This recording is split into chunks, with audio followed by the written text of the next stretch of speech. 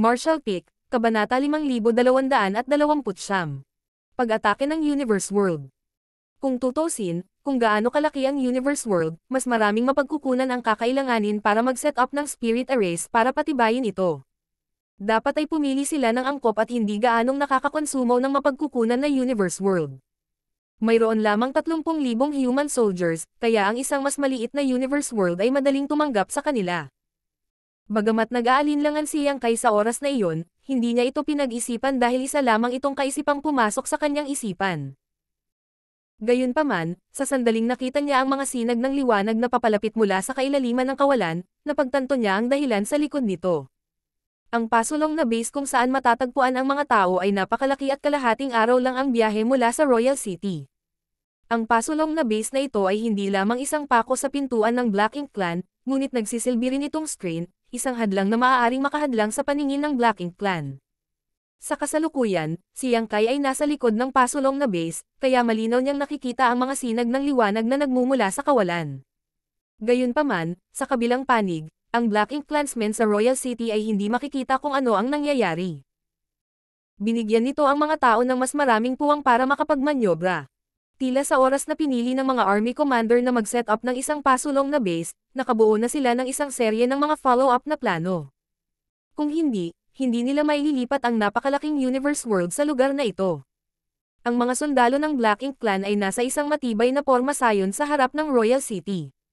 Dahil sinabihan si Chekong na manguna, inabot lang siya ng isang buwan para muling ayusin ang buong army.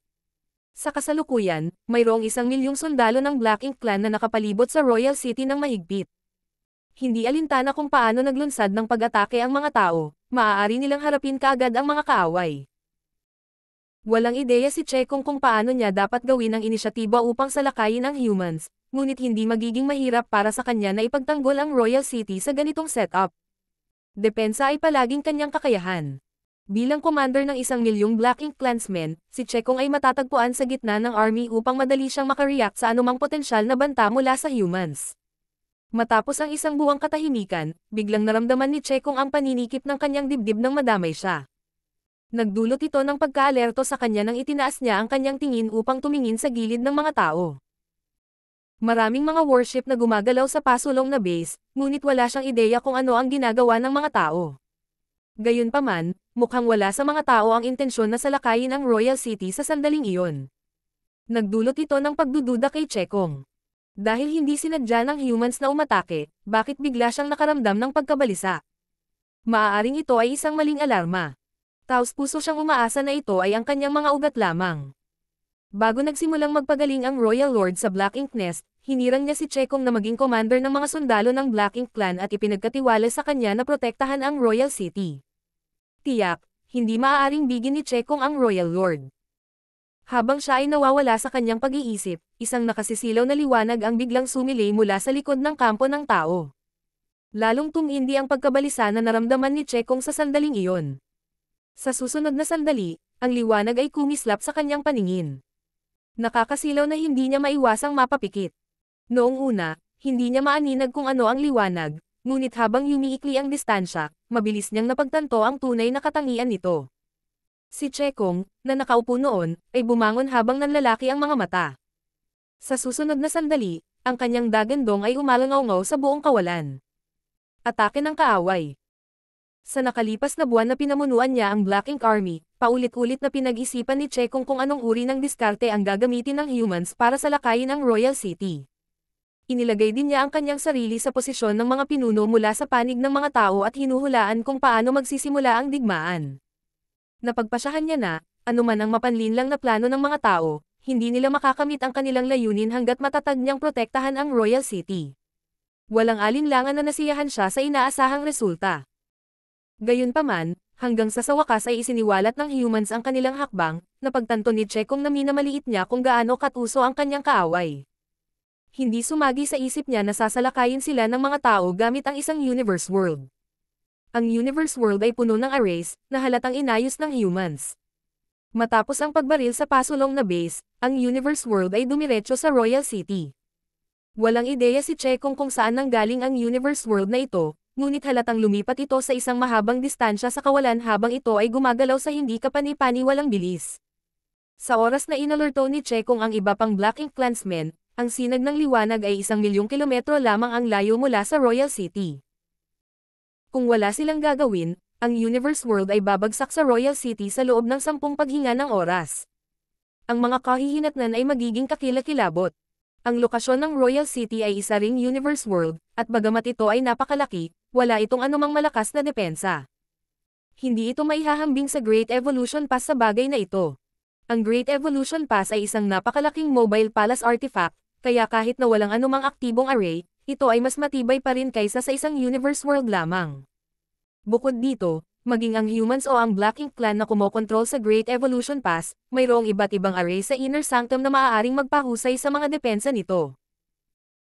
Ang papalapit na Universe World na puno ng Spirit Arrays ay mukhang ikatlong bahagi lamang ng Universe World kung saan matatagpuan ang Royal City, ngunit kung talagang bumagsak ito sa Royal City, lahat ay madudurog.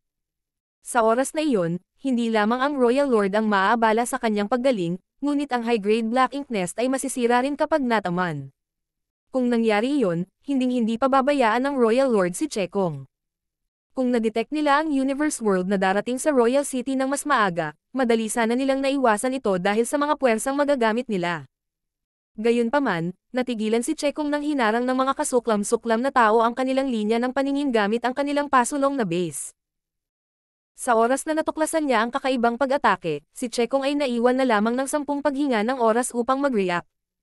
Wala siyang panahon para pakilyusan ang kanyang mga sundalo, kaya personal siyang umaksyon patungo sa Universe World. Kasabay nito, mahigit 30 territory lords ang kumilos kasama niya. Alam ng lahat ng territory lords na kailangan nilang gawin ang kanilang makakaya upang mapaglabanan ang pag-atake ng universe world na ito, dahil ang kaunting epekto sa Royal City ay tiyak na makakagambala sa paggaling ng Royal Lord. Gumaling ang Black Ink Clansmen sa pamamagitan ng pagkahulog sa isang estado ng mahimbing na pagtulog. Ito ay pareho para sa Royal Lord tulad ng para sa lahat. Sa sandaling naabala sila, maaabala ang kanilang paggaling, na magre-resulta sa backlash na maaaring mag-ando sa pag-unlad ng kanilang pagbawi o posibleng lumala pa ang kanilang kondisyon. Ang Royal Lord ang pinakamakapangyarihang master na kailangan nilang umasa, kaya natural na hindi nila hahayaang makagambala sa kanya. Lahat ng territory lords ay bumaril sa langit. Napakaganda ng tanawin habang nagbabanta ang kanilang mga aura. Samantala, hindi mabilang na mga feudal lord ang sumunod na malapit sa kanila. Sa isang tigang na bundok sa pasulong na base, sina Siang Shan, Liu Jiping, at iba pang 8th Grade Division Commander ay matamang tumingin at nakita na ang Black Ink Clansmen mula sa Royal City ay umaarangkada na parang mga gamo-gamo sa apoy. Bago pa man sila dumating, nagsimula na silang magpadala ng marahas na pag-atake sa Universe World na darating sa Royal City. Isang 8th Grade Division Commander ang nagtanong. Sa tingin mo ba ay maiiwasan nila ito? Sa totoo lang, hindi ito mangangailangan ng isang 8th grade Heaven Opening Realm Master para gumawa ng hakbang para sirain ang isang Universe World. Ang 6th grade o kahit isang 5th grade Heaven Opening Realm Master, kung bibigyan ng sapat na oras, ay maaaring sirain ang isang Universe World. Pagkatapos ng lahat, isang Heaven Opening Realm Master ang nakalaya mula sa mga pagpigil ng Inner Universe. Ang kapangyarihan na maaari nilang makuha mula sa kanilang miniature universe ay World Force. Kaya, hindi mahirap para sa kanila na basagin ang isang universe world. Natural, ang Black Clansmen na may katulad na lakas ay makakamit ang parehong mga resulta. Gayunpaman, ang Black Clan ay hindi nakikitungo sa isang ordinaryong universe world sa sandaling ito. Ito ay isang universe world na protektado ng iba't ibang arrays na ginugol ng array masters ng isang buwan at napakalaking halaga ng mga mapagkukunan upang ayusin. Sa makatuwid, ito ay hindi na isang ordinaryong universe world. Ito ang pinakadakilang sandata sa pagkubkob upang sirain ang isang lungsod. Titingnan natin. Walang imot na sagot ni Siang Shan. Sinusubukan lang niya upang tiyakin kung gaano kabisa ang taktika na ito upang makamit ang kanilang layunin. Sa makatuwid, ang East-West Army ay hindi naghanda na maglunsad ng isang pag-atake sa sandaling ito.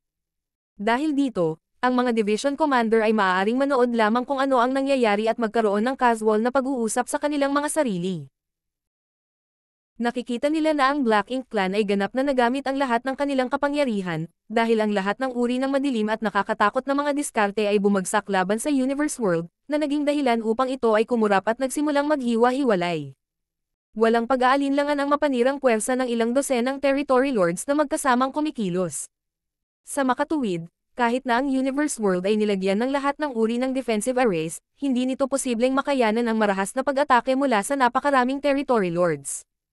Bago pa man makakilos ang mga feudal lords, ang Universe World ay naging madilim. Sa susunod na sandali, ito ay sumabog sa hindi mabilang na mga fragment na nakakalat sa paligid. Hindi napigilan ng mga territory lords na makahinga ng maluwag habang sa parehong oras, sila ay nagalit. Tila sila ay natakot sa wala dahil ito ay isang universe world, pagkatapos ng lahat. Kahit na ito ay nilagyan ng iba't ibang mga array, hindi ito posibleng magdulot ng banta sa kanila. Gayunpaman, ang lahat ng territory lords ay lumapit upang palayasin ito. Kung ang humans ay maglunsad ng pag-atake sa Royal City sa sandaling iyon, hindi nila mapoprotektahan ang lungsod. Bagamat ang gayong mga pag-iisip ay samasagi sa kanilang isipan, isa pang sinag ng liwanag ang lumitaw sa likod ng wasak na universe world. Meron pa. Umungol si Chekong. Sa pagkakataong ito, hindi nagulo ang territory lords.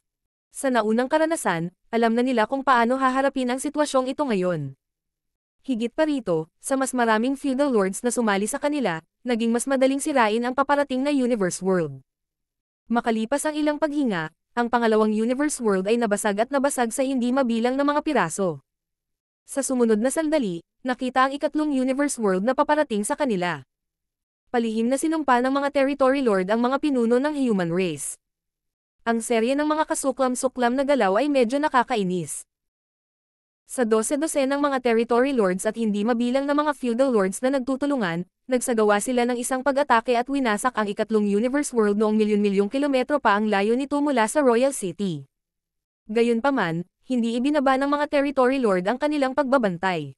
Panay ang tingin nila sa kailaliman ng kawalan, dahil nag-aalala sila na magkakaroon ng ikaapat na universe world.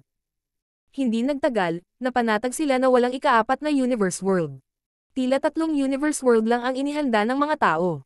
Nang matiyak na ang lahat ng universe world ay naharang, at na ang Royal City ay hindi naapektuhan, pinangunahan ni Chekong pabalik ang territory lords at feudal lords. Sa halip na matuwa si Chekong, lalo lang nag-alala si Chekong. Bagamat matagumpay nilang nalabanan ang tatlong universe world na inilunsad ng human sa kanila sa oras na ito, paano kung mayroong apat, lima, o higit pang universe world? Darating ang panahon na hindi nila napigilan ang Universe Worlds, at kapag nangyari iyon, malaking bilang ng Black Ink Clansmen ang mawawalan ng buhay, at ang pagbawi ng Royal Lord ay maaantala. Ito ay maliwanag na ang mga tao ay sinusubukan lamang ang tubig sa oras na ito, at ang susunod na pag-atake ay ang tunay na palabas. Naniniwala si Chekong na pagkatapos ng pagsubok sa panahong ito, ang mga pinuno ng tao ay patuloy na gagamit ng gayong taktika. Kalokohan. Napaisip si Chekong. Nahaharap sa gayong kasuklam-suklam na taktika, ang Black Ink Clan ay walang ibang pagpipilian kundi ang direktang harapin ito. Ni hindi nila ito magaya dahil wala silang napakaraming magagaling na array master sa kanilang panig. Marshall Pick, Kabanata 5230, Kamag-anak ni Xiao Xiao. Dahil nilinang niyang kay ang time daw, at natutunan ang ilang bagay mula sa kanyang ikatlong disipolo, ang oras ay damaloy ng apat na beses na mas mabilis sa kanyang miniature universe kaysa sa labas. Sa makatuwid, kahit na ang Old Ancestor ay nagpapagaling sa kanyang miniature universe sa loob ng apat na buwan, isang buwan na lamang ang lumipas sa labas ng mundo. Sa loob lamang ng isang buwan, nagawa ng East-West Army ang naturang plano. Hindi maiwasan ni Yang Kai na humanga kay Siyang Shan at sa malayong pananaw ng iba. Matapos umikot ang tatlong universe world sa forward base, hindi nakita ni Yang Kai ang sumunod na nangyari dahil nakaharang ang kanyang paningin. Sa sinabi nito, kahit na siya ay nasa isang mapanglo na lambak sa tapat ng isang universe world, nararamdaman pa rin niya ang marahas na pagbabago-bago ng enerhiya na nagmumula sa Royal City. Itinuring niya na ang mga ekspresyon sa mga mukha ng territory lords ay magiging kawili-wili kapag nakita nila ang universe worlds, na nilagyan ng iba't ibang array, na dumarating sa Royal City. Gayunpaman, hindi niya naisip na magiging mahirap para sa Black Ink Clan na palayasin ang mga universe world na ito. Pagkatapos ng lahat, mayroong mga 30 plus territory lords, hindi banggitin na mayroon silang maraming 8th grade Black Ink disciples na kasama nila. Malamang na ang universe world ay maaaring makapinsala sa kanila. Iyon talaga ang nangyari. Ang pagbabago-bago ng enerhiya na nagmumula sa Royal City ay tumagal lamang ng humigit kumulang sampung paghinga bago sila nawala. Muli, lumipas ang mga araw ng mapayapa. Sa hitsura nito, ang mga sundalo ng tao ay tila walang intensyon na salakayin ang Royal City. Samantala, sa loob ng miniature universe, nagpapagaling pa rin ang old ancestor sa tahanan ng mga ngaso. Napakahusay ng pakikitungo ng mag-asawa sa kanya. Bagaman hindi sila magkadugo, inalagaan nila siya na parabang sila ang kanyang tunay na mga magulang. Kalahati ng pagkain na dinala ng mga ngaso mula sa bundok ay nakarating sa tiyan ng old ancestor. Tiyak, nagulat ang mag-asawa sa katotohanan na ang maliit na batang babae na kinuha nila mula sa bundok ay may malaking gana sa kabila ng pagiging maliit. Tsaka, mukhang mahilig talaga siyang kumain. Ang tanging ikinabahala ng mag-asawa ay hindi gaanong lumaki ang batang babae sa kabila ng kanyang malaking gana. Para siyang tatlo hanggang apat na taong gulang nang sunduin siya noon. Apat na taon na ang lumipas, pero hindi pa rin siya nagbabago. Ito ay hindi karaniwan, para sa mga bata ay karaniwang lumaki ng napakabilis sa murang edad. Apat na taon ay sapat na ang haba para sa isang paslit na maging isang bata na malayang makakatakbo. Gayunpaman, hindi iyon ang kaso para kay Xiao Xiao. Oo, Pagkatapos palakihin ang batang babae na kinuha nila sa bundok sa loob ng apat na taon, binigyan siya ng pangalan ng mag-asawa. Pinangalanan siyang Xiao Xiao dahil nakangiti siya ng husto sa tuwing may masasarap na pagkain para sa kanya. Kung isa sa alang-alang ang katotohanan na si Xiao Xiao ay inabandona ng kanyang pamilya noon dahil siya ay may malubhang karamdaman, naniniwala ang mag-asawa na ang kanyang karamdaman ang dahilan kung bakit hindi siya gaanong lumaki. Noong nakaraan, si Dr. Kai ay nag-iwan ng isang slip ng race ETA. Gamit ang mga halamang gamot sa listahan, ginugol ng mag-asawa ang susunod na apat na buwan na hinayla pabalik si Xiao Xiao mula sa pintuan ng kamatayan. Bagamat nailigtas ang kanyang buhay, tiyak na naiwan siya ng isang nakatagong karamdaman na nagresulta sa kanyang matamlay na paglaki. Sa sinabi nito, nasiyahan sila na si Xiao Xiao ay hindi isang pipi, hindi katulad ng una nilang naisip. Isa pa, isa siyang matalinong bata na magaling magsalita at kumanta. Bukod pa rito, parang gifted din siya pagdating sa pangangaso. Apat na taong gulang pa lang siya nang sunduin nila siya, at walong taong gulang na siya ngayon. Ano ang magagawa ng isang walong taong gulang na bata? Walang ideya ang mga ngaso kung ano ang iba pang walong taong gulang na bata, ngunit maaari na siyang sundan ni Xiao Xiao sa bundok at manghuli araw-araw. Gumawa pa siya ng maliit na busog para sa kanya. Sa nakalipas na anim na buwan, nagawang ibalik ni Xiao Xiao ang maraming biktima mayroong kahit isang beses na pinatay ng mga ngaso ang isang 800 kilogram na baboy ramo sa tulong niya. Ang baboy ramo ay sapat na malaki para sa lahat ng mga taga-nayon upang tamasahin sa loob ng kalahating buwan. Ang lahat ng taga-nayon ay nagtrato kay Xiao Xiao ng maayos. Dahil alam niyang mahilig siya sa pagkain, madalas siyang padadalhan ng mga taga-nayon ng masasarap na pagkain para mabusog niya ang kanyang pananabik. Isang araw, abala ang matipunong babae sa paggawa ng mga gawaing bahay sa hapon nang makarinig siya ng ilang ingay sa labas ng bahay. Pagkabukas ng pinto, nakita niyang bumalik na ang kanyang asawa at Xiao. Nagulat siya dahil tanghali pa lang. Karaniwan, hindi umuwi ng ganoon kaga ang asawa niya. Ang ikinabahala niya ay bakas sa mukha ng kanyang asawa ang pag-aalala. Bagamat hindi siya isang tipikal na sensitibong babae dahil siya ay prangka, siya ay mahusay sa pagmamasid sa mga ekspresyon ng kanyang asawa. Sa bagay, maraming taon na silang kasal. Anong mali? Tanong niya. Umiling ang mga ngaso at nanatiling tahimik. Nakatingin kay Xiao Xiao, sinabi niya. Lumabas ka at maglaro. Pagkatapos ng ungol, ibinaba ni Xiao Xiao ang kanyang busog at pumalag. Hahanapin ko si Master, kung gayon. Pagkatapos, tumalikod siya at nagmamadaling lumabas ng bahay. Dahil sa pag-aalala, sumigaw ang matipunong babae mula sa likuran. Dahan-dahan lang, huwag mong bilasin. Bagamat alam niyang madaling makagalaw ang batang babae sa bundok kasama ang mga ngaso, nag-aalala pa rin ang matipunong babae na baka madapa siya kapag tumakbo siya ng napakabilis. Kung tungkol sa master, na binanggit ni Xiao Xiao, isa siyang iskolar na nagkataong dumating sa lugar na ito apat na taon na ang nakakaraan. Tila nahulog ang loob ng iskolar sa kapaligiran dito, kaya napagpasyahan niyang tumira. Lumipas ang ilang taon mula noon. Marahil ay nagpasya siyang manatili dito magpakailanman. Kahit na ang iskolar ay walang iba pang mga kasanayan, siya ay isang mahusay na nabasa na tao. Nangangailangan sila ng master sa nayon, kaya nagpasya ang iskolar na tulungan ang mga bata na matutong bamasa at sumulat sa kahilingan ng mga mangangaso. Bilang kapalit, bibigyan nila siya ng pagkain, kaya hindi niya kailangang mag-alala tungkol sa kaligtasan. Gustong-gusto ni Xiao Xiao ang paggugol ng oras sa iskolar. Ayon sa kanya, lagi siyang binibigyan ng binata ng mga treats sa tuwing bibisita siya nito. Hindi pa narinig ng mag-asawa ang ilan sa mga pagkaing binanggit niya. Maraming beses na pinag-isipan ng mag-asawa ang isyong ito. Tinanggap ng iskolar ang kanyang pagkain mula sa mga taga-nayon, kaya saan pa nga ba siya nakakuha ng mga pagkain na ipapamahagi sa mga bata?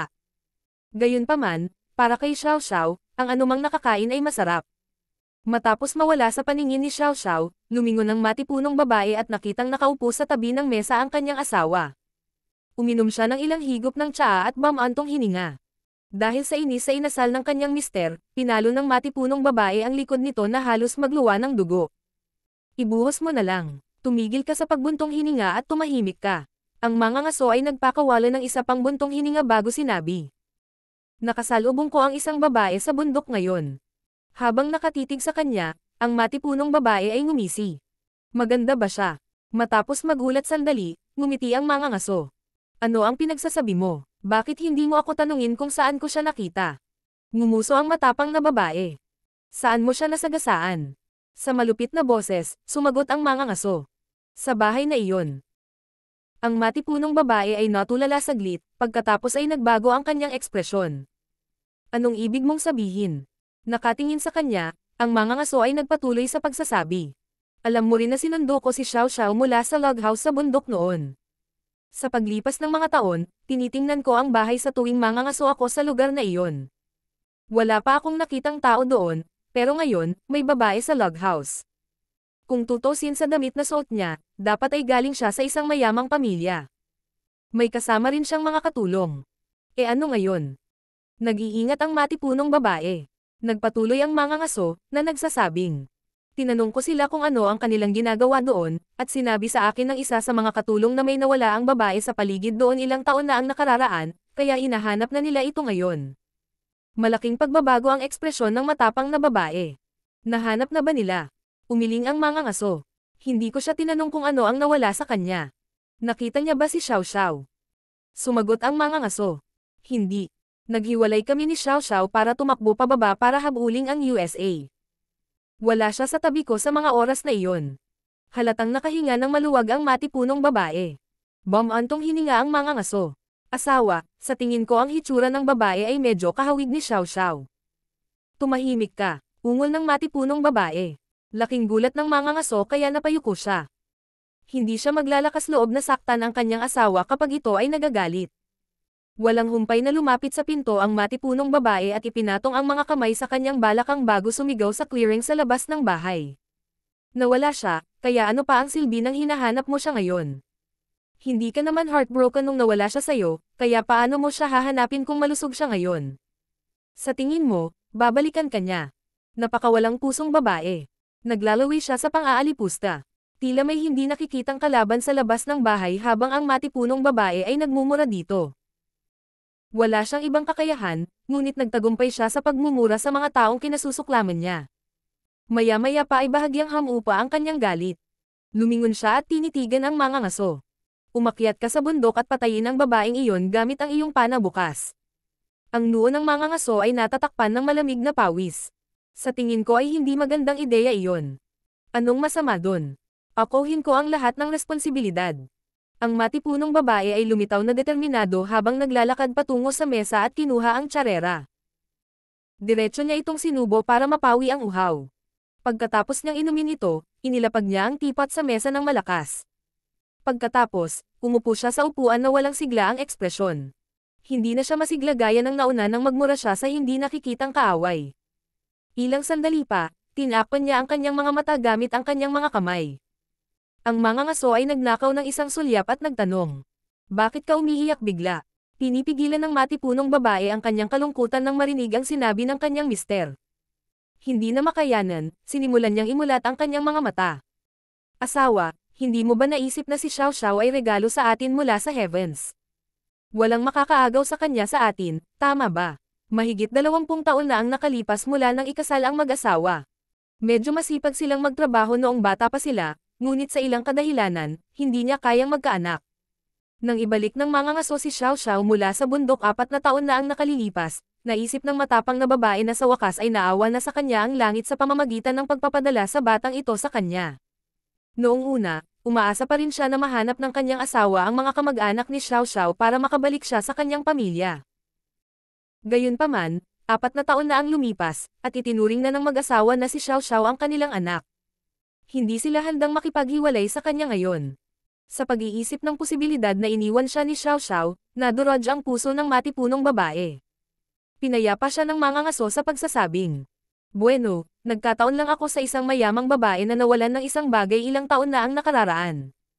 Ngayon lang niya ito hinahanap. Maaaring hindi siya kamag-anak ni Xiao Xiao. Naging malabo na ang paningin ng matipunong babae sa lahat ng pag-iyak. Habang humihikbi, sinabi niya. Sinabi mo na ang babae ay kahawig ni Xiao Xiao, at may hinahanap siya na nawala sa kanya. Sino pa kaya siya kung hindi siya ang ina ni Xiao Xiao? Dahil doon, tumahimik ang mga ngaso. Kung tutusin, pumasok sa isip niya ang ganoong ideya nang makita niya ang babae. Iyon ay dahil talagang sinundan siya ni Xiao Xiao. Habang patuloy na humahagulgol ang matapang na babae, nanatiling tahimik ang mga ngaso. Ilang sandali pa, sinabi niya. May sariling magulang ang bata. Ang babae ay mula sa isang mayamang pamilya. Kung babalikan siya ni Xiao Xiao, magkakaroon siya ng magandang kinabukasan. Ito ay mas mabuti kaysa manatili sa amin dito. Sa hinaharap, makakapag-asawa na siya ng mabuting lalaki. Marshall Pick, Kabanata 5231 Dadalan kita ng masarap. Ang matipunong babae ay biglang tumigil sa pagiyak at tumayo ng tuwid. Nakatitig sa mga ngaso, nagbanta siya. Kung maglakas loob kang pabalaykan si Xiao Xiao sa kanya, babuliin ko ang mga pamo. Pagkasabi niya noon ay tumalikod na siya at naglakad patungo sa kwarto niya. Nang malagpasan niya ang mga ngaso, sinipa niya ang bench kung saan ito nakaupo. Sa isang iglap, nabasag ang bench na may bitek. Nawalan ng balanse ang mga ngaso at nahulog sa lupa. Nakatingin sa sirang bangko, napalunok siya. Bagamat alam niyang malakas ang asawa niya, hindi niya akalain na magiging ganito kalakas ito. Walang alinlangan, ang kanyang binti ay hindi kasing tibay ng bangko. Nang maalala niya ang sinabi nito sa kanya bago siya umalis, nagpa siya siyang itikom ang kanyang bibig. May isang simpleng bahay sa ibaba ng bundok. Sa kabila nito, sama-sama itong itinayo ng mga taga-nayon at sapat na matibay upang palayasin ang ulan at hangin. Ito ang tirahan ng iskolar na nagkataong bumisita sa lugar na ito apat na taon na ang nakalilipas. Nagsilbi rin itong paaralan sa nayon. Maliban sa mga bata sa nayon, ay padadala rin ng mga mangangaso mula sa mga karatig nayon ang kanilang mga anak sa paaralang ito nang malaman nilang may iskolar na kayang magturo sa mga bata kung paano bamasa at sumulat. Sa makatuwid, higit sa sampung mga bata ang madalas na nagtitipon sa maliit na paaralang ito para sa mga aralin. Ang mga bata mula sa mga nayon sa bundok ay walang ingat at malikot. Noong una, ang mga mangangaso ay nag-aalala na ang mukhang mahinang master na ito ay hindi sila madidisiplina. Hindi nila gustong makita ang kanilang mga anak na nagdudulot ng gulo. Gayunpaman, nagulat sila nang malaman nila na gaano man kakulit ang mga bata, magiging masunurin at masipag sila sa sandaling pumasok sila sa paaralang ito. Ang master ay tila walang anumang espesyal na paraan ng pagdidisiplina sa mga bata tinuruan lang niya sila kung paano magbasa at magsulat. Ang kakaibang paghahayag na ito ay namangha sa mga mangangaso. Sa sandaling ito, ang master, na nagtuturo sa mga bata, ay biglang ngumiti, na para bang may natuklasan siyang nakakatawa. Nataranta ang mga estudyante, ngunit wala ni isa sa kanila ang nangahas na tanungin siya tungkol dito dahil palagi siyang may kakaibang autoridad tungkol sa kanya. Sa sinabi nito, mayroon pa ring isang bata na nagtaas ng kanyang kamay at nagtanong sa malinaw na boses. Master, bakit bigla kang ngumiti? Ang taong nagtanong nito ay walang iba kundi si Xiao Xiao, na mukhang mas maliit kaysa sa ibang mga bata. Sa halip na matakot, iginagalang ng mga bata ang master. Hindi niya sila pinarusahan sa anumang paraan. Gayunpaman, sa sandaling sila ay tumuntong sa paaralang ito, sila ay magiging masunurin. Gayunpaman, si Xiao Xiao lang ang tila hindi gumagalang sa master at siya lang ang may lakas ng loob na hamarang sa master kapag nagbibigay ito ng leksyon. Nang marinig iyon, inangat ng master ang kanyang ulo at ipinakita ang isang mukhang matatag na mukha. Nakangiting sagot niya. Wala. May naisip lang akong nakakatawa. Nakatagilid ang ulo, tila naguguluhan si Xiao Xiao. Nagpatuloy ang master sa aralin. Ang dahilan kung bakit siya ngumiti ay dahil nakita niya ang nangyari sa bahay ng mga ngaso. Nakakatuwa ang naging reaksyon ng matapang na asawa. Sa katunayan, aware siya na may isang mayamang babae sa log house sa bundok. Sa mahigpit na pagsasalita, siya ay talagang kahawig ni Xiao Xiao sa isang paraan. Gayunpaman, hindi may isip ng isa kung wala siyang ganoong naisip na ideya. Alam niyang walang kinalaman ang mayamang babae kay Xiao Xiao. Pagkatapos ng lahat, si Xiao Xiao ay isang 9th grade old ancestor habang ang mayayamang babae ay isa lamang sa maraming buhay na nilalang sa kanyang miniature universe. Nagkataon lang at masyadong sensitive ang mag-asawa. Nang ibalik ng mga ngaso ang old ancestor sa kanyang tahanan, sinundan sila ni Yang Kai. Bagamat napagtanto na may mali sa old ancestor, wala siyang paraan upang harapin ito. Sa makatuwid, maaari lamang siyang magpanggap na isang mahirap na palaboy na iskolar at tumira sa nayong ito upang mapanatili niya ang pakikipag-ugnayan sa old ancestor at pagmasdan siya. Sa nakalipas na apat na taon, napansin niya ang ilang bagay na nag-aalala sa kanya. Una sa lahat, ang old ancestor ay lubhang nasugatan. Kung hindi, lumaki na siya pagkatapos ng mahabang panahon. Ang kanyang pinsala ay napakalalim kahit na kahit na si Yang Kai ay hindi natukoy ito.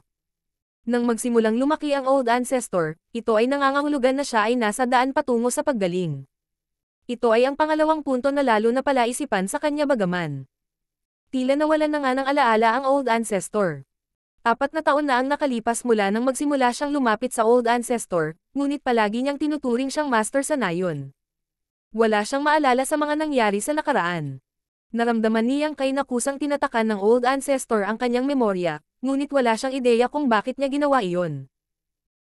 Ngayon, maaari na lamang siyang makipagtulungan sa old ancestor sa pamamagitan ng pagbibigay sa kanya ng pinakamagandang kapaligiran para gumaling at umaasa na siya ay gumaling sa lalong madaling panahon.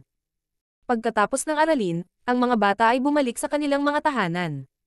Si Yang Kai ay nanatiling nakaupo sa silid-aralan. Ilang sandali pa, isang maliit na figure ang lumabas sa kanyang ulo mula sa pinto at ngumiti sa kanya. Isang walang magawang siyang kay ang umiling ng may ngiti. Bagamat natakpan na ang alaala ng old ancestor, tila likas sa kanya ang pagiging mahilig sa pagkain.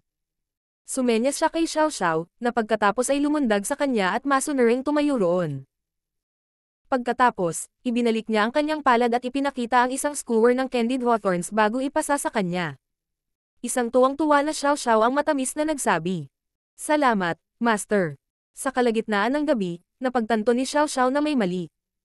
Iniabot niya ang kanyang kamay at natuklasan niyang umiiyak ang kanyang ina na nakayakap sa kanya. Naguguluhan siyang nagtanong. Bakit ka umiiyak, inay? Banibuli ka ba ni tatay? Paulit-ulit na umiling ang matipunong babae. Hindi. Binabangungot lang ako. Oh, sa paniniwalang totoo ang kanyang pahayag, tumalikod si Xiao Xiao at yamakap sa matipunong babae.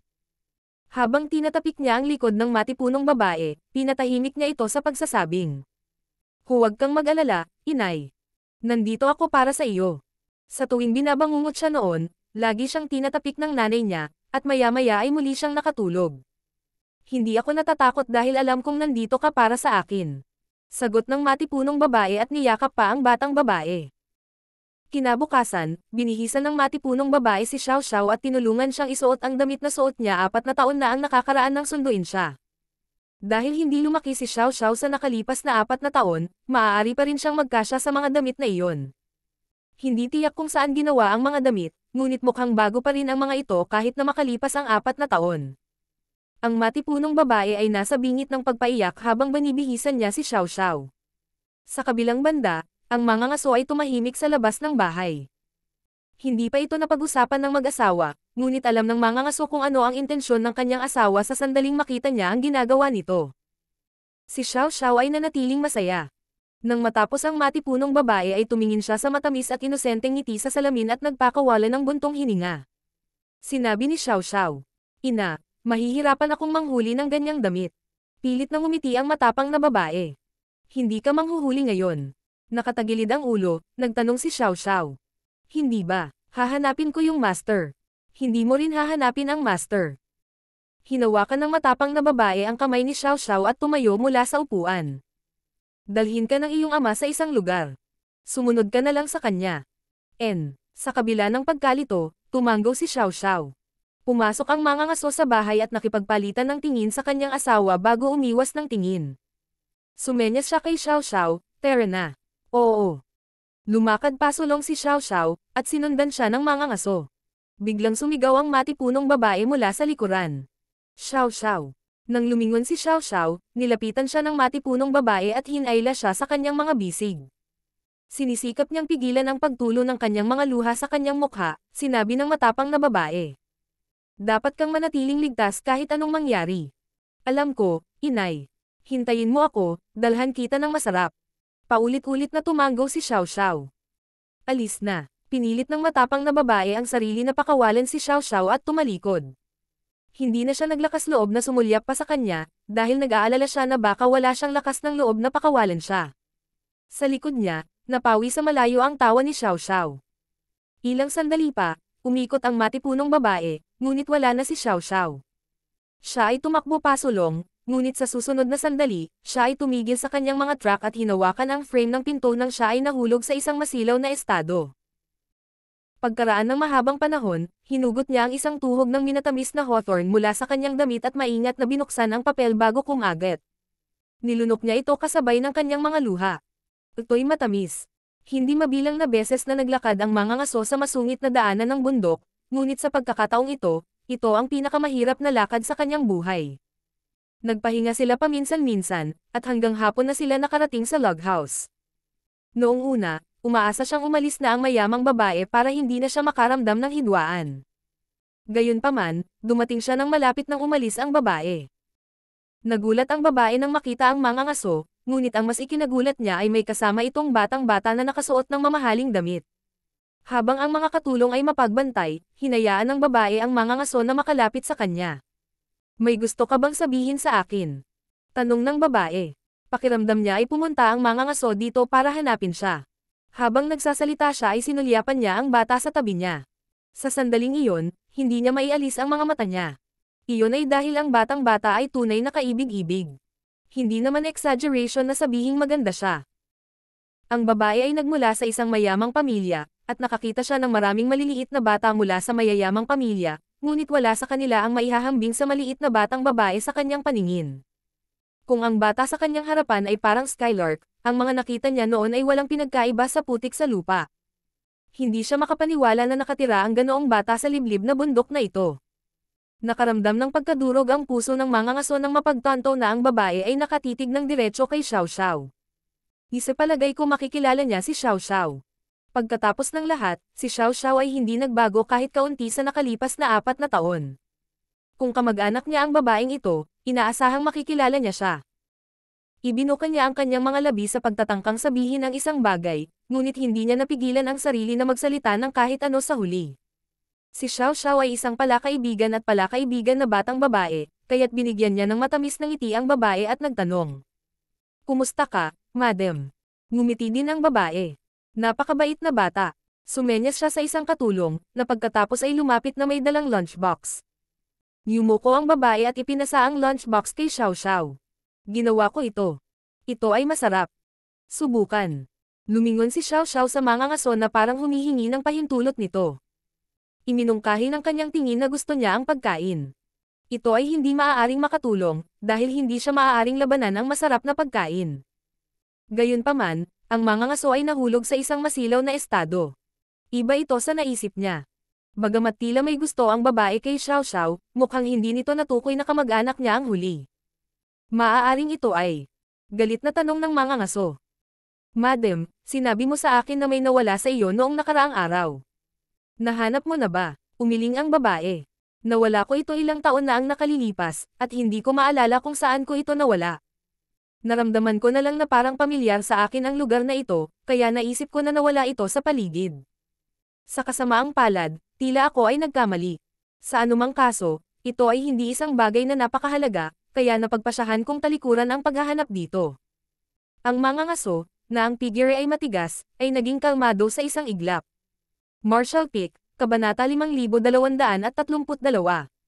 Pag-atake sa Royal City Sa loob ng bahay, ang matipunong babae ay nakaupo sa isang upuan habang niyayakap niya si Xiao Xiao na may matingkad ng ngiti. Tuwang-tuwa siya na parabang nakuha niya ang isang bagay na nawala sa kanya na hindi na mapapalitan. Naramdaman ni Xiao Xiao na kakaiba ang kanyang ina sa araw na ito, ngunit napakabata pa niya para maunawaan ang napakaraming bagay sa mundo. Sa makatuwid, hindi niya matukoy kung ano ang kakaiba. Kasalukuyan, may isang lunchbox sa harap niya. Ito ay ibinigay sa kanya ng mayamang babae sa bundok. Hindi naman mahal ang pagkain sa loob ng lunchbox, ilang Osmanthus cake lang yata ang ginawa niya. Ang mga taga-nayo na tulad nila ay hindi pa nakakita ng ganitong mga pinong cake, lalo pat kumain ng mga ito. Nawala ang kalahati ng mga Osmondos cake sa loob ng lunchbox, karamihan sa mga ito ay nawala sa tiyan ni Xiao Xiao. Magkaroon ng isa pang piraso, inay. Kinuha ni Xiao Xiao ang isang Osmondos cake at iniabot ito sa matapang na babae. Nakangiting sumagot ang matipunong babae. Wala na ako. Sobrang tamis. Sige na kumain ka na. Sige. Sagot ni Xiao Xiao at kinain ang Osmondos cake. Sa sobrang sarap ay may ganang lumunok din siya ng sarili niyang dila. Ang mga ngaso ay naghahanda para sa sesyon ng pangangaso kinabukasan sa pamamagitan ng pagpapatalas ng kanyang mga ulo ng palaso. Nang makita niya ang nakakataba ng pusong tagpo sa bahay, isang tame time ng ngiti ang isinuot niya. Ang pasulong na base ng North-South Army ay matatagpuan sa isang asteroid na aabot ng dalawang araw bago makarating ang isang tao mula sa Great Evolution Pass. Isang taon na ang nakalipas, nakipagsagupaan ang North-South Army sa Black Ink Clan mula sa Great Evolution Pass. Bagamat marami na silang napatay sa kanilang mga kaaway, nakaranas din sila ng ilang pagkalugi. Ang taunang Black Ink Clansmen ay tumakas pabalik sa Great Evolution Pass at nakatanggap ng tulong mula sa kanilang mga kasama. Simula noon, hindi na sila umalis sa Great Evolution Pass. Isang taon na ang lumipas, at ang North-South Army ay nakakulong na ngayon sa isang staring contest kasama ang Black Ink Clan na nakatalaga sa Great Evolution Pass. Para silang dalawang halimaw na nagtatag ng kanilang mga pangil sa isa't isa mula sa malayo, ngunit hindi nila kayang patayin ang kabilang partido, kaya hindi sila umatake. Matapos dumanas ng isang kabiguan dati, ang Black Ink Clansmen ay hindi na maglalakas loob na gumawa ng padalos-dalos na pagdalaw muli. Nag-aalala sila na wala nang babalikan kapag naglunsad sila ng pag-atake. Sa kabilang banda, ang North-South Army ay walang paraan para harapin ang Black Ink Clansmen na tumangging umalis sa Great Evolution Pass. Hanggang sa naging mga attacker ang humans ay napagtanto nila kung gaano kahirap ang pakikitungo sa isang Great Pass. Ang Great Evolution Pass ay nagbigay ng pinakamahusay na depensa para sa Black Ink Clansmen, kaya kung ang North-South Army ay padalos-dalos na maglunsad ng pag-atake, marami sa kanilang mga sundalo ang mawawalan ng buhay. Dahil sa sama-samang kapangyarihan ng North-South Army ngayon, magiging mahirap para sa kanila na kunin ang Great Evolution Pass sa maikling pagkakasunod-sunod, at sa sandaling maglunsad sila ng pag-atake at mabaygo, mawawala ang kanilang magandang posisyon. Ang Army Commander ng Southern Army, si Ouyang Lai, ay isang masungit na tao, kaya ang deadlock na kanilang kinaharap ay nagbibigay sa kanya ng sakit ng ulo.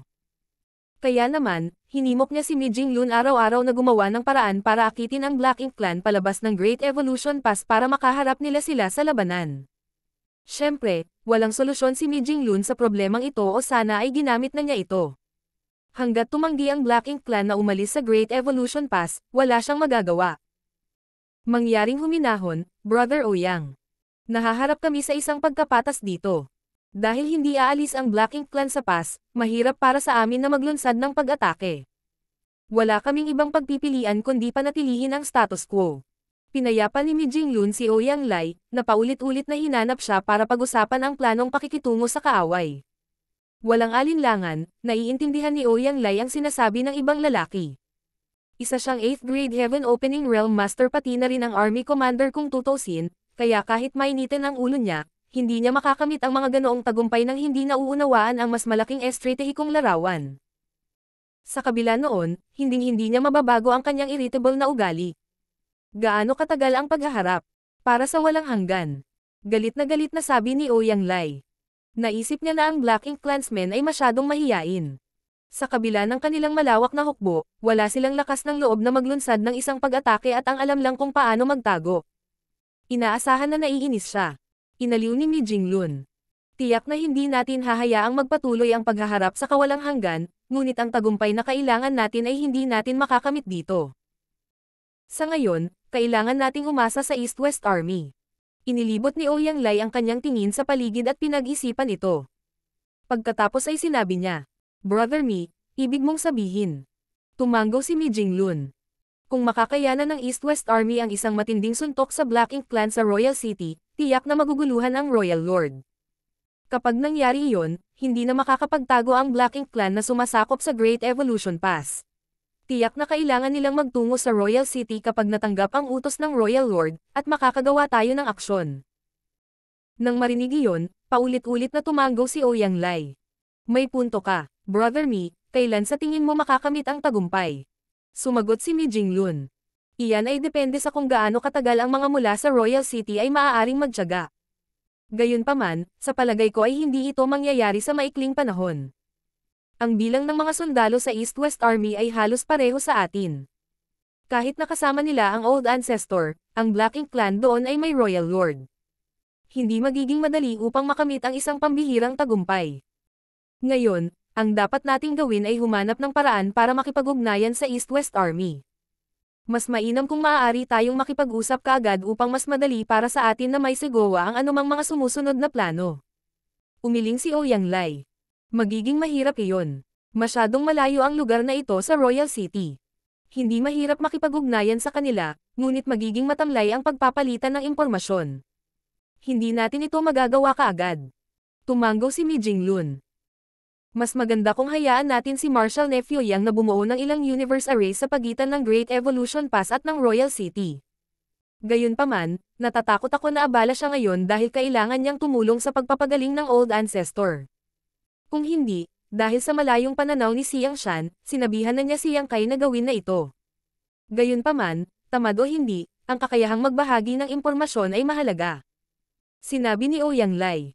Kung ganoon, dapat tayong magpadala ng isang tao sa East-West Army. Napangiti si Mi Jinglun.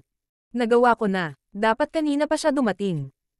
Nang marinig iyon, hindi napigilan ni Ouyang Lai na imulat ang kanyang mga mata. Sinabi lang sa akin ng lalaking ito ang tungkol dito pagkatapos niyang gawin ito. Nagmumukha akong ewan. Nakakapagod makipagtulungan sa ganyang maling tao. Tiningnan ni Mi Jinglun ang kailaliman ng kawalan mayroong dalawang dahilan kung bakit siya nagpadala ng isang tao sa East-West Army. Una sa lahat, kailangan talaga niyang makipagpalitan ng impormasyon sa kanila. Pangalawa, gusto niyang malaman kung paano pinaplano ng East-West Army na salakayin ang Royal City. Ang Royal City ay protektado ng malaking bilang ng Black Ink Clansmen, at ang Royal Lord ay nasa paligid, kaya hindi magiging madali para sa East-West Army ang pag-atake dahil sa kanilang kasalukuyang lakas. Inilagay ni Mi Jinglun ang kanyang sarili sa posisyon ng Army Commander sa East-West Army at pinag-isipan kung ano ang maaari niyang gawin. Nakaisip siya ng ilang posibleng solusyon, ngunit hindi niya naisip na magiging epektibo ang mga ito. Sa makatuwid, gusto niyang malaman kung paano kikilos si Siang Shan. Samantala, kumikilos ang East-West Army sa kanilang pasulong na base. Ang mga barkong pandigma, na sa una ay nakadaong sa Universe World, ay tumaas sa kalangitan at pumailan lang patungo sa kawalan. Nang makita iyon ng 8th grade division commander na si Chapo, na nakatayo sa isang bundok, ay tila nagulat siya at tinanong ang katabi niya. Sasalakayin mo ba ang Royal City? Si Chapo ay ang division commander ng 4th Division ng Northern Army. Siya rin ang taong ipinadala ni Mi Jinglun sa lugar na ito para makipag-ugnayan sa East-West Army. Tulad ng inaasahan ni Mi Jinglun, dumating si Chapo sa lugar na ito tatlong araw na ang nakakaraan. Dumating siya sa oras na ang East-West Army ay malapit ng magsagawa ng isang malaking plano, kaya nagpa siya siyang manatili at mag-obserba para maibalik niya ang higit pang mga detalye kay Mi Jinglun. Ang dahilan kung bakit ang isang 8th grade Heaven Opening Realm Master ay hiniling na pumunta sa lugar na ito ay dahil ito ay isang mahabang paglalakbay na puno ng panganib. Kung ang isang 7th grade master ay sinabihan na pumunta dito, maaaring hindi siya makaabot. Sa makatuwid, maaari lamang magpadala si Mi Jinglun ng 8th grade Division Commander. Naging mapayapa sa panig ng North-South Army kamakailan, kaya ayos lang kahit wala si Chapo. Bukod pa rito, siya ang dumating upang iligtas siyang kay matapos ang huli ay pumatay ng isang 8th grade Black Ink disciple. Sa kasalukuyan, ang taong nakatayo sa tabi niya ay ang adjutant ni Siyang Shan, si Li Xing. Inutusan siya ni Siyang Shan na isama si Chapo at sagutin ang kanyang mga tanong. Ngayon, ang mga sundalo ng East-West Army ay pinakilos na parang sasalakayin nila ang Royal City. Nakikita iyon ng sino mang hindi bulag. Nagdulot ito ng pag-aalala kay Chapo. Nakita niya ang defensive formation sa paligid ng Royal City. Dahil sa kasalukuyang kapangyarihan ng East-West Army, hindi matalinong direktang atakihin ang Royal City. Kapag ang dalawang partido ay nagsagupaan, ang East-West Army ay magdaranas ng napakalaking pagkalugi. Bagamat alam niyang hindi gagawa ng kalokohan si Siang Shan, hindi niya maiwasang mag-alala. Sa gilid, sumagot si Li Xing. Huwag kang mag-alala tungkol dito, Marshal Uncle Cha. Sinabi ni Master Siyang na kailangan mo lang manood. Nakangiting tumingin sa kanya si Chapo. Oh, sinabi ba iyon ni Senior Brother Siyang? Parang pagkukunwari lang ang mabalisisayon ng mga sundalo. Ibinaba ni Li Xing ang kanyang tingin. hindi ako maglalakas loob na ibunyag ang mga detalye tungkol sa patuloy na operasyon ng militar. Alam niya ang lahat tungkol sa army dahil siya ang adjutant ni Siang Shan, ngunit kung wala ang kanyang pahintulot, hindi niya sisirain ang lihim. Hindi sinasadya ni Chapo na pahirapan siya, kaya pagkatapos niyang tumango, sinabi niya. Dahil sinabi mo na, aasahan ko na iyon. Tingnan natin kung paano haharapin ni senior brother Siang ang Black Ink Clan. Natahimik sila pagkatapos nun. Mabilis ang mabalisasayon ng East-West Army. Nang matanggap ang utos, ang mga sundalo mula sa iba't ibang division, na nagpapahinga at nagpapalakas ng kanilang lakas sa nakalipas na taon ay sumakay sa kanilang mga warship at hindi nagtagal ay nabuo ang isang fleet. Mayroong higit sa dalawang libong mga warship na naglalayag, na nagbibigay ng nagbabantang hangin. Tiyak, hindi may tatago sa Black Ink Clan ang kanilang ginagawa, kaya agad na nadetect ng mga mula sa Royal City ang anomalya. Nakatayo si Chekong sa deck ng kanyang dakilang barko. Sa isang mataimtim na ekspresyon, mataman siyang tumitig sa harapan. Wala siyang ideya kung bakit biglang nagkaroon ng battle formation ang mga tao, ngunit anuman ang dahilan, tila hindi maiiwasan ang labanan. Bago nakatulog ang Royal Lord, iniutos niya na dapat nilang ipagtanggol ang Royal City sa lahat ng paraan. Maaari nilang baliwalain ang mga tao kung hindi susubukan ng huli na salakayin ang Royal City. Gayunpaman, kung may paggalaw, kailangan nilang gawin ang kanilang makakaya upang pigilan ang mga tao. Sa makatuwid, sa sandaling napansin ni Chekong ang pagpapakilos ng Human Army, nagpasa siya ng isang utos. Di nagtagal, isang milyong Black Ink Clansmen ang handa na para sa digmaan. Gayunpaman, may nakitang kakaiba si Chekong pagkaraan ng ilang sandali. Ang mga tao ay hindi direktang dumating sa Royal City. Sa halip, sila ay patungo sa kaliwang bahagi ng Royal City at umiikot sa paligid nito. Dahil dito ay natarante si Chekong. Ano ang sinusubukan ng mga tao na makamit? Sinusubukan ba nilang maglunsad ng pag-atake sa likod ng Royal City sa pamamagitan ng pag-ikot dito mismo sa harap ko? Nakakatawa yon, akala ba nila bulag ako? Kung ang mga tao ay may lakas ng loob na gawin ang ganoong bagay, nanumpa si Chekong nasisirain niya sila dahil sa kanilang kabastusan. Si Chapo, na nanunood mula sa pasulong na base, ay parehong nalilito. Ibinahagi niya ang damdamin ni Chekong. Sa pamamagitan ng pag-ikot sa Royal City ng walang anumang takip, wala silang magagawa maliban sa pag-aaksaya ng kanilang oras. Gayunpaman, hindi siya nagtanong. Ang mga pinuno ng East-West Army ay may dahilan kung bakit kumilos ito, kaya patuloy lang siyang nakamasid. Nais ni Mi Jinglun na malaman kung paano makakamit ng East-West Army ang isang pambihirang tagumpay, kaya marahil ang labanang ito ang magiging susi. Kalahating araw lang ang aabutin ng isang tao para makarating sa Royal City mula sa forward base ng East-West Army, kaya sa pamamagitan ng pag-ikot sa Royal City, dumating ang fleet ng East-West Army sa kaliwang bahagi nito makalipas ang kalahating araw. Huminto sila sa pagsulong sa puntong ito at kasama ang battalion-class warship na nangunguna sa daan, ang fleet ay umarangkada patungo sa Royal City sa isang dominanteng paraan.